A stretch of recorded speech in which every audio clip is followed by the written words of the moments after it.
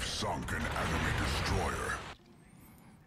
Hey team, it's Ripper here. Hope you guys are doing fantastic today. Got a two game header here with four kills each, and with the Druid and Dalarna, and hope you enjoy it. The first one's Druid Heavy AP on the map Islands of Ice. Before we begin, like subscribe button below. Appreciate all the support. At 2,000 subs, doing a free premium DD giveaway. So let's get right to the action. Druid, um, uh, this is built with the excuse me heavy AP uh, style of gunboating, and you can see right here if we get this Smolensk right on the money, and we might get some citadels. Boom, right there, boom and boom.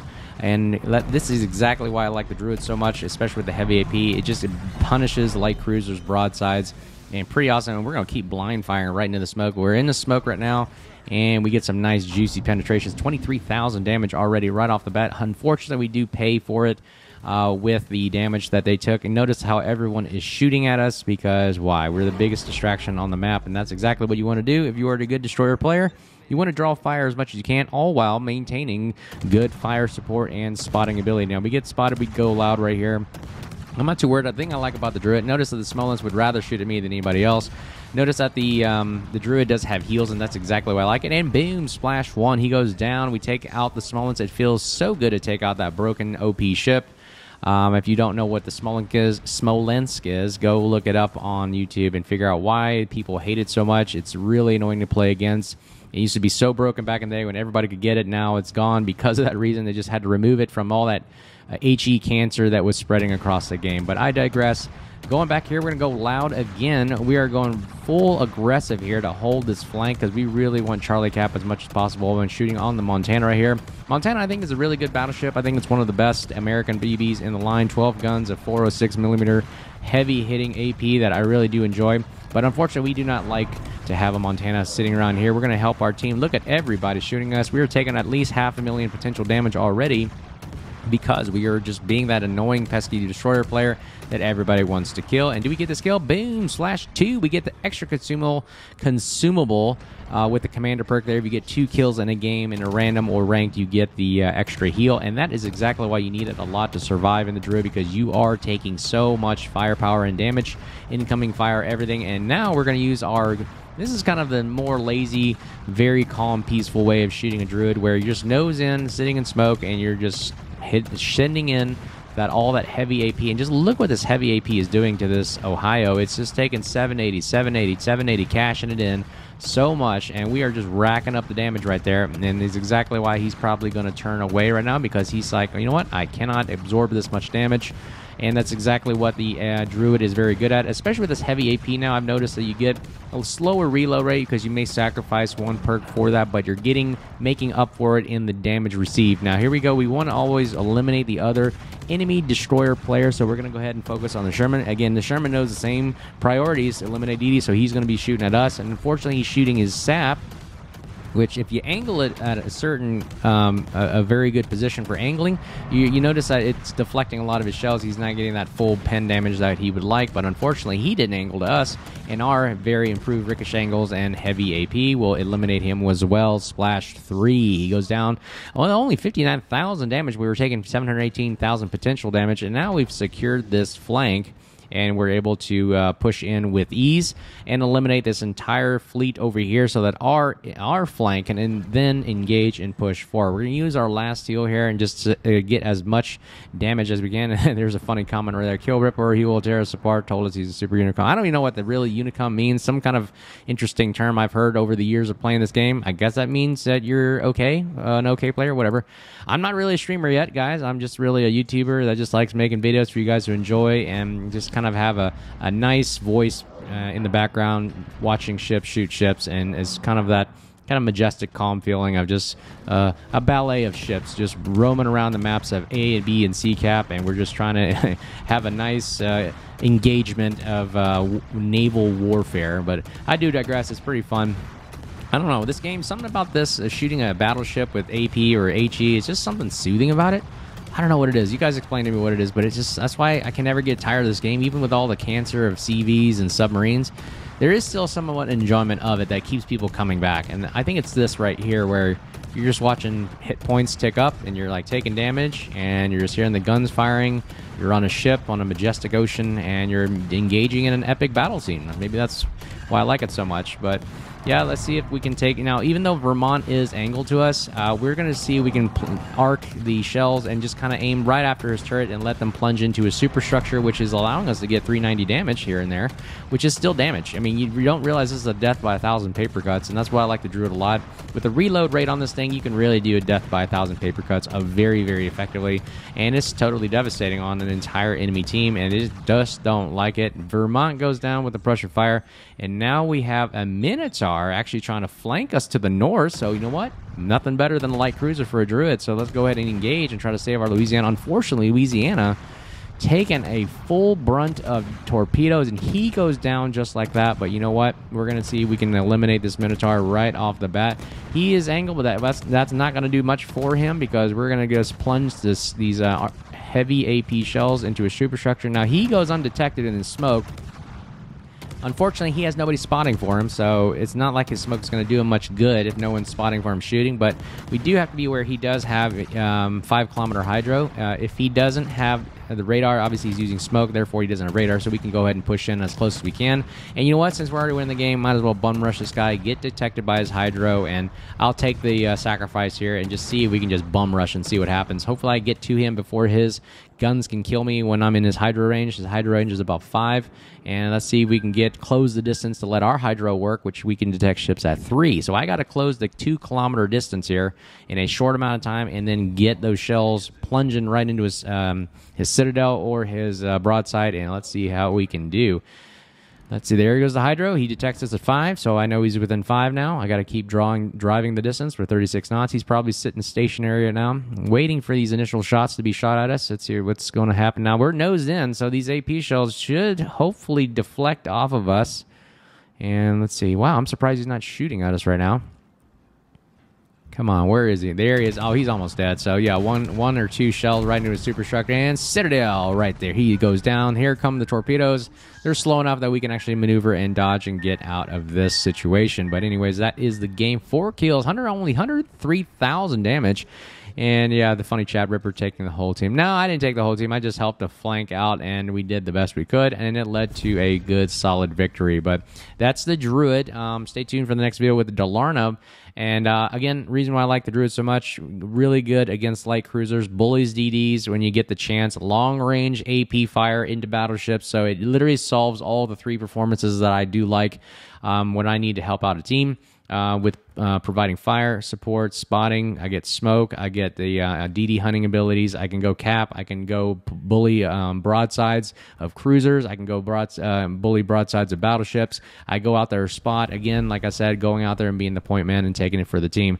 Uh, let's see how I build this particular druid. Now, this is my build. Again, disclaimer: you can build it however you want. This is how I kind of like it. It's it's enjoyable. It's fun. It, like I said, the game is supposed to be fun and enjoyable. Improve hydro.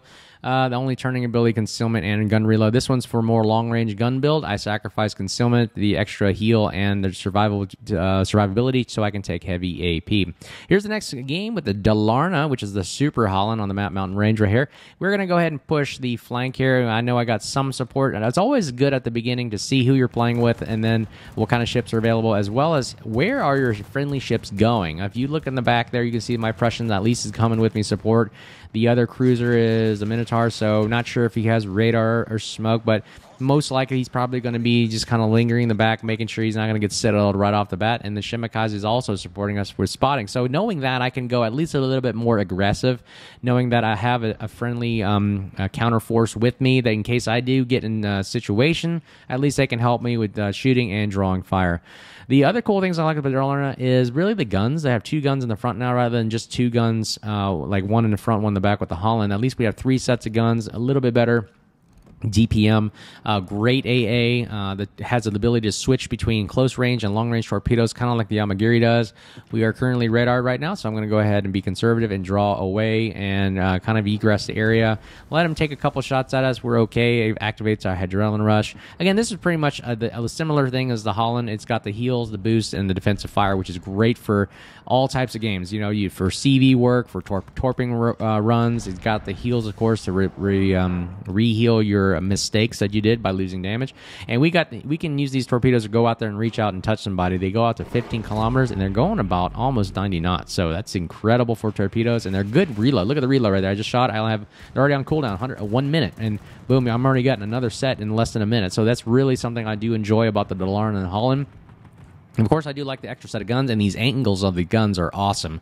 I mean, you can be kiting away almost full, like 70 to 80 degrees, and you're getting some nice, uh, good uh, shots on something while running away or reversing into a cap. And then, of course, we also have the um, the two guns are in the front, which gives us the two gun ability to nose in and bully DDs if we needed to. Uh, I, would say that uh, conservatively and sparingly because honestly, the Dalarna is not a DD hunter. I wouldn't go up against a Marceau or Druid or whatever with a Dalarna, but the front two guns being there allow you to at least have somewhat of a better engagement rather than having one turret like the Small and Holland class kind of do. Um, that's my opinion, but we're getting radar in, so we're going to kind of wait and just be conservative and see if these torpedoes. Uh, we did connect a couple torpedoes on the Alaska, so he is flying, and boom, he gets torped by another Shimakaze on our team.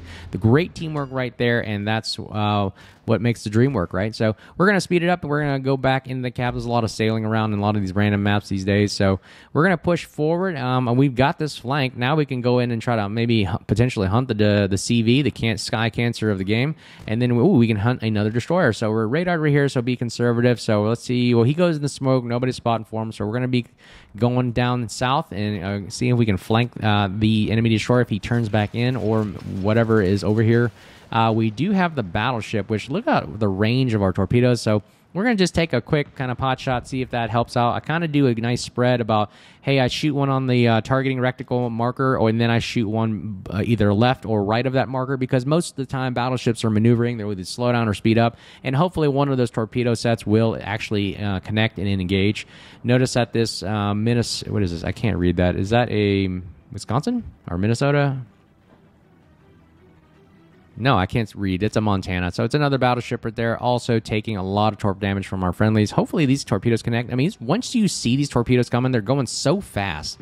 It's almost impossible to uh, maneuver and get out of the way. Yeah, Montana is... Ooh, he's going to take a full set right here. Nice. And then Oh, we get a Shimakaze again, blind torpedoing. It's really fun because these torpedoes are going so fast, very, very difficult to um, uh, really avoid. Now, I thought about shooting my guns on this, but my torpedo torpedoes were almost coming off cooldown. And you know what? I said, you know what? Let's just shoot uh, the full tor- full set, full racks right into his side because at this range, it's really, I mean, you're pretty much dead because they're going so fast at six to seven kilometers. These torpedoes are coming right at you, and you can just tell right here he has no idea that it's coming from the right. And then they're so fast by the time you do see them, and the reaction time is about, I believe, about five to six seconds. Five to six seconds is not enough time to turn a full uh, battleship to uh, just avoid all these fast firing torpedoes. And this is just a pretty shot right there. Look at that, ladies and gentlemen. Take it all in. Boom. Splash two. Dalarna with the kill on the Montana right here. And now we have another battleship that could play victim for us. But unfortunately, we have destroyers to deal with because that's another priority. Kill the destroyers, right? So let's see. We're just gonna bum rush one of these destroyers. I believe it's a uh, who is this? Yep, it is the Marceau or Yamagiri. This is our counterpart, kind of. So let's see if we can eliminate their super uh, kind of Shimakaze style. And the guns, look at the guns. They are just so super fire and reload, way better than Yamagiri, even though he has a uh, reload booster. Unfortunately, he cannot just survive the damage, and we got the heals. Boom, he goes down, and we can heal back our damage. Ooh, and you have another destroyer who's going to kind of try to play with us right here.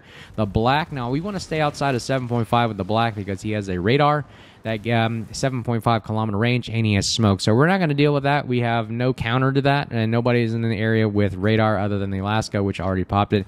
But we're going to go ahead and eliminate battleship, though. We'll let the Black go play by himself right now. We'll fire a good set into the Montana, and you know what? He, he's almost dead. We almost have this game, so we'll go loud and actually start engaging. You look at the kind of DPM you can see on the um, the Dalarna. It's getting enough uh, kind of firepower out there to start some good fires, kind of like the Holland style of shooting. Uh, just a little bit, one extra set of guns give you a better. So this is really awesome. I mean, I like the Dalarna for this reason because it's just a better Holland. I like the extra set of guns, the same torpedoes, the same defensive AA, uh, everything you need in in a multi-tool role for uh, World of Warship. He actually fires at us. Again, he wastes his shot on us, uh, knowing that, hey, it's not going to do anything other than we're going to mitigate the damage as much as we can. And boom, we take him out. Splash four. He goes down, and that is going to probably end it right there, just with that HP right there. And we, yep, we seal the victory. But Yep, we took it right there to the town. Four kills. Hope you guys enjoyed the gameplay of it. That's some of my favorite ships right there, Dalarna and Druid. Let me know what you think about the gameplay and the ships as well. The build will be at the end of the screen or at the end of the gameplay. And there it is, four kills and about 60,000 damage. Not the greatest, but we did our part by limiting as many players as we can off the map. Again, like, subscribe, button below. Do that sub, doing a free premium DD giveaway. And as always, you guys stay safe. Make sure you say hi out there. And uh, hopefully, you guys are enjoying the rest of your week. Take care. Cheers.